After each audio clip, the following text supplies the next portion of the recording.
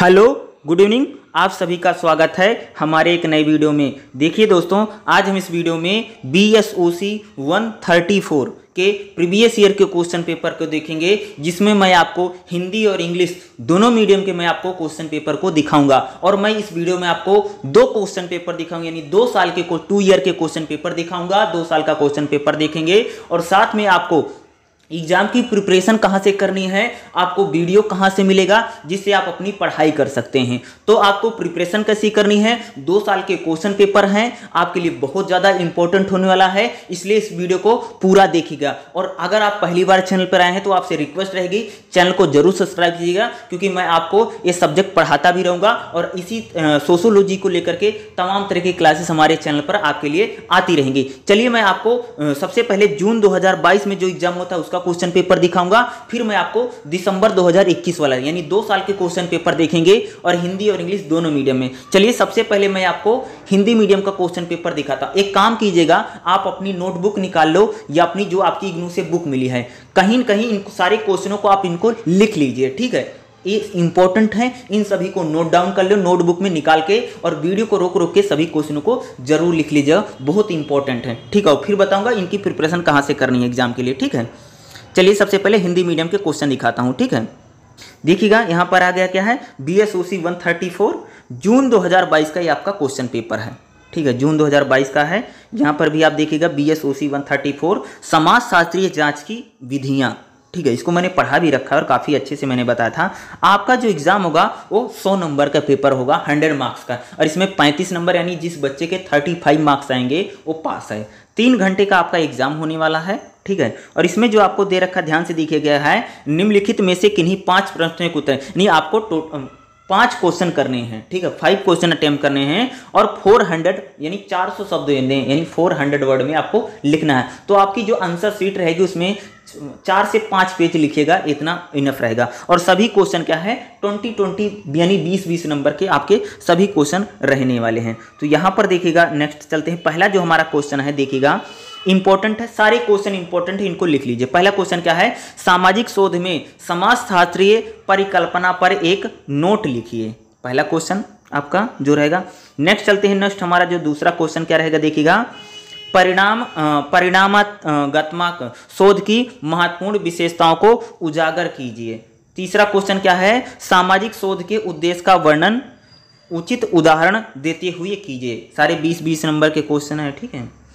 चौथा क्वेश्चन क्या है? समाज शास्त्रीय सिद्धांत पर आधारित अनुभविक शोध के अध्ययनों का वर्णन कीजिए। चौथा क्वेश्चन नेक्स्ट हमारा जो क्वेश्चन है पाँचों क्वेश्चन देखिएगा। विषय निष्ठता पर दूरखीम के विचारों का वर्णन कीजिए। छठा क्वेश्चन अनुभव जन्य शोध के के है। विविध आयामों की चर्चा कीजिए। छठा क्वेश्चन लिख लो, सारे इंपॉर्टेंट है। नेक्स्ट हमारा जो क्वेश्चन है, सातवां क्वेश्चन क्या है? गुणात्मक शोध के लक्षण क्या हैं? चर्चा कीजिए। आठवां क्वेश्चन क्या है? सामाजिक शोध में अवलोकन का महत्व लिखे। टोटल आठ क्वेश्चन है जो मैंने आपको जून 2022 के। एक क्वेश्चन पेपर अभी मैं आपको और बताऊँगा। चलिए, यही जो क्वेश्चन है इंग्लिश मीडियम वाले जो बच्चे हैं, उनके लिए भी मैं आपको क्वेश्चन दिखा देता हूँ। वो आप भी अपने इंग्लिश मीडियम वाले जो स्टूडेंट है, आप भी बच्चे अपने क्वेश्चन को नोट डाउन कर लीजिए, ठीक है? B S O G one thirty four जून 2022 का क्वेश्चन पेपर है, ये इंग्लिश मीडियम में दिखाऊँगा। जो इंग्लिश मीडियम के बच्चे हैं, आप इसको लिख लीजिए। एक क्वेश्चन पेपर अभी और भी दिखाऊँगा, इसलिए उसको भी ज़रूर देख लीजिएगा।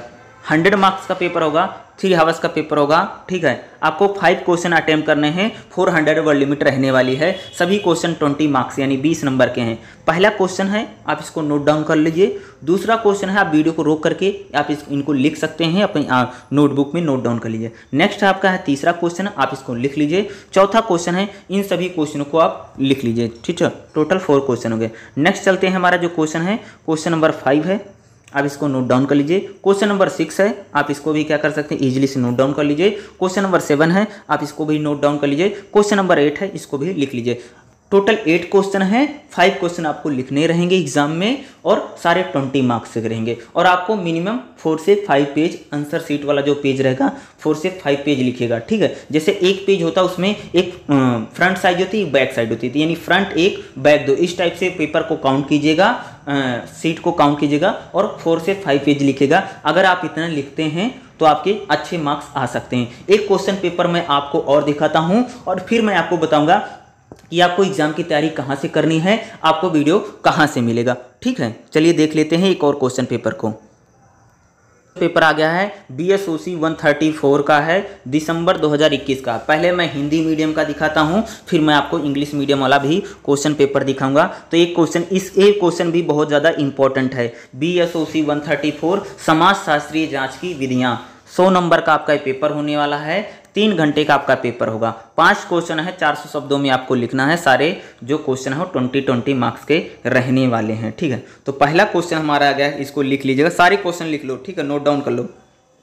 सामाजिक सोच से आप क्या समझते हैं? कॉमन सेंस से यह किस प्रकार अलग है? बीस नंबर, ठीक है?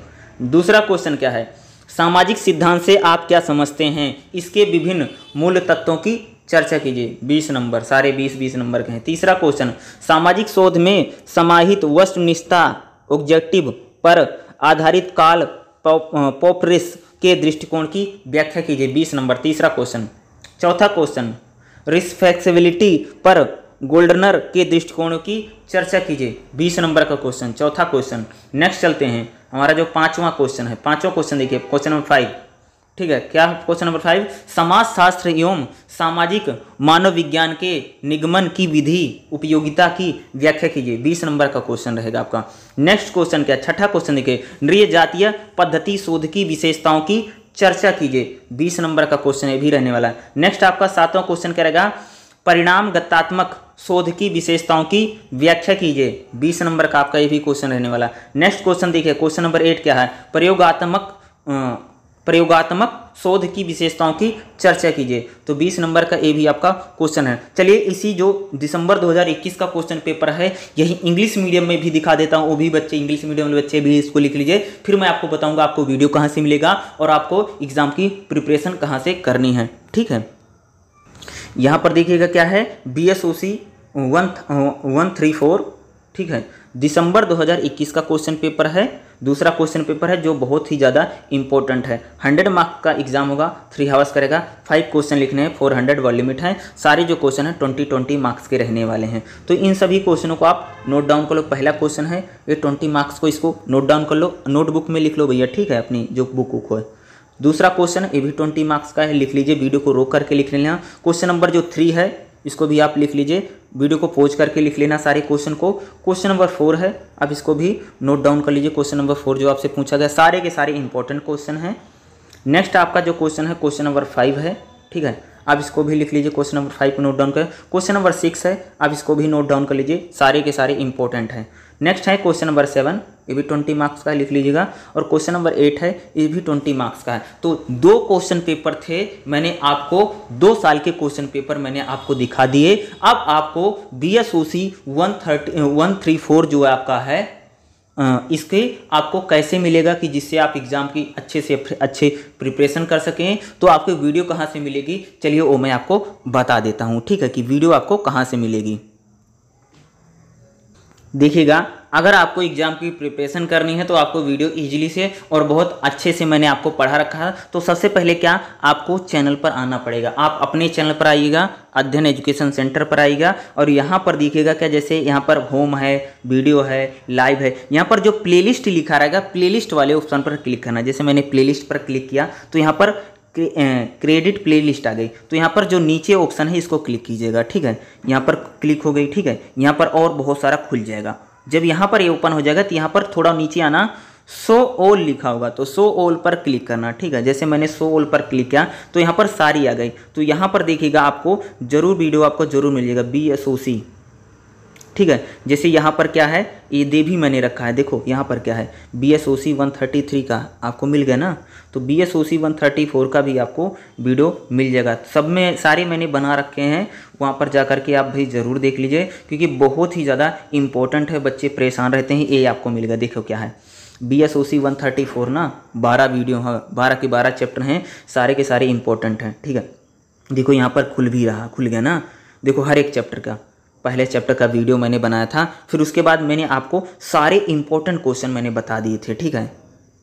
उसके बाद देखो, दूसरा चैप्टर है, तीसरा चैप्टर है, चौथा चैप्टर है, पांचवा चैप्टर है, छठा चैप्टर है, सातवां, आठवां नौवां और ग्यारहवां, लगभग मैंने सारे चैप्टर का जितना भी इम्पोर्टेंट चैप्टर था, उसका मैंने वीडियो बना रखा है। आप सभी जितने भी स्टूडेंट हैं, आप जाकर के इन सारे वीडियो को चैनल पर देख लीजिएगा B S O C one thirty four की आपको प्लेलिस्ट मिलेगी, ठीक है? इन सभी को देख लीजिए ताकि आप अपने एग्ज़ाम में अच्छे से अच्छे मार्क्स ज़्यादा से ज़्यादा नंबरों को आप गेन कर सकें। तो ये वीडियो आपको कैसे लगा मुझे चैनल को ज़रूर सब्सक्राइब कीजिएगा, क्योंकि मैं B S O C one thirty four के और भी वीडियो मैं आपके लिए लेकर के ज़रूर आऊँगा। एग्ज़ाम चल भी रहा है और जल्द से जल्द आने वाले हैं वीडियो, ताकि आपको और भी अच्छे से मैं आपकी प्रिपरेशन करवा सकूँ। इसलिए चैनल को ज़रूर सब्सक्राइब करना। वीडियो को देखने के लिए आप सभी का बहुत बहुत धन्यवाद। थैंक यू सो मच जय हिंद, जय भारत।